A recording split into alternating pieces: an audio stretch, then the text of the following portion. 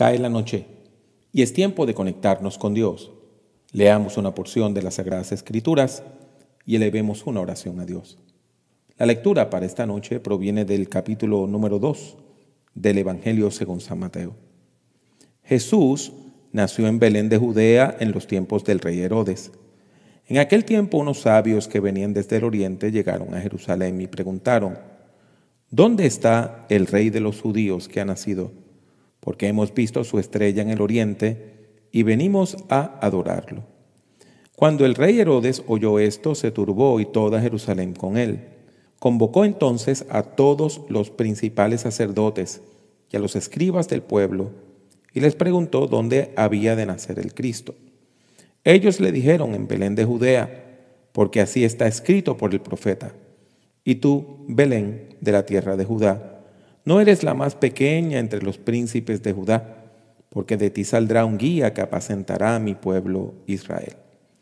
Luego Herodes llamó en secreto a los sabios para saber de ellos el tiempo preciso en que había aparecido la estrella.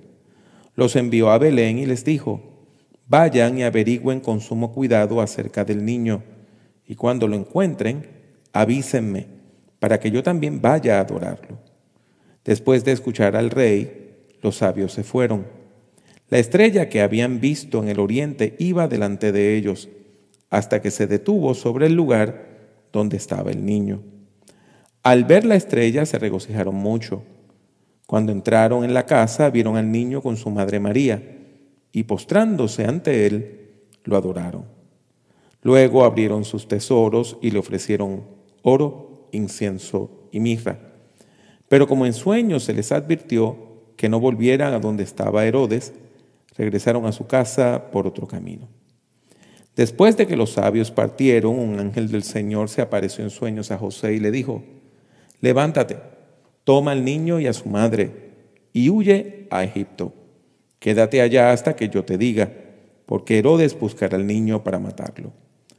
Cuando él despertó, tomó de noche al niño y a su madre y se fue a Egipto y se quedó allá hasta la muerte de Herodes.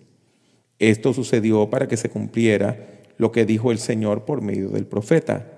De Egipto llamé a mi hijo.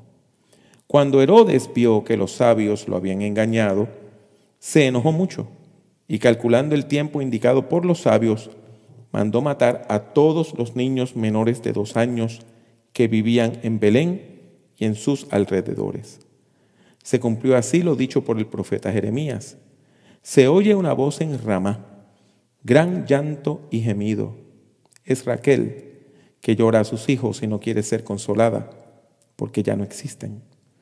Después de que murió Herodes, un ángel del Señor se apareció en sueños a José en Egipto y le dijo, levántate, toma al niño y a su madre y regresa a Israel, porque los que querían matar al niño han muerto ya.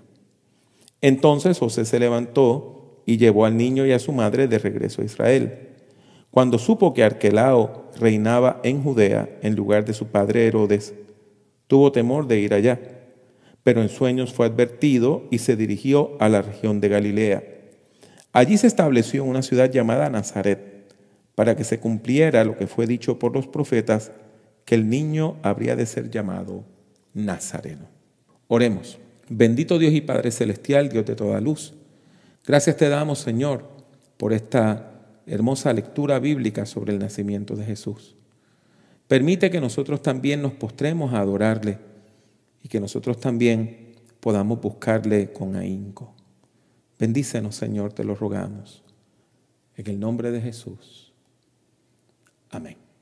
Y terminamos con las palabras del Salmo 4, versículo 8, que dice, en paz me acostaré y asimismo dormiré, porque solo tú Jehová me haces vivir confiado.